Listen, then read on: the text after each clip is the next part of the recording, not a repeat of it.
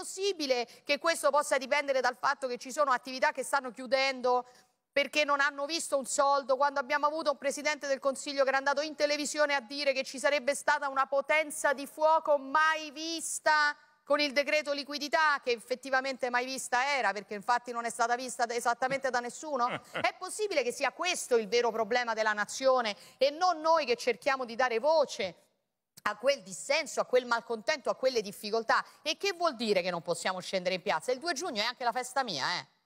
E anche la festa di, di, di, di, Giorgia Meloni e di tutti gli italiani che la pensano come noi. Dobbiamo stare in silenzio. Perché? Per chi? Se il PD o la sinistra volevano scendere in piazza, potevano farlo tranquillamente il 2 giugno, che noi lo volevamo impedire a qualcuno, sono loro che lo vogliono impedire a noi.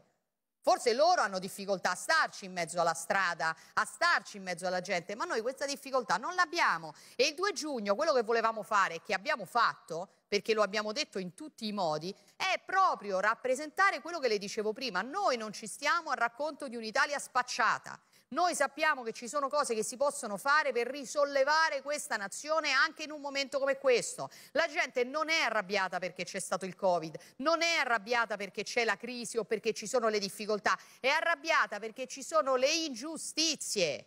È arrabbiata perché ha un governo che oggi ha dichiarato che metterà altri 70 milioni di euro sul bonus per comprare i monopattini mentre non hai soldi per fare la spesa, mentre perde il posto di lavoro mm. e c'è pure qualcuno che ti viene eh. a spiegare che il monopattino ti serve per andare a lavorare, ma da dove? Sì, ma sì. ci parlano con i pendolari queste sì. persone?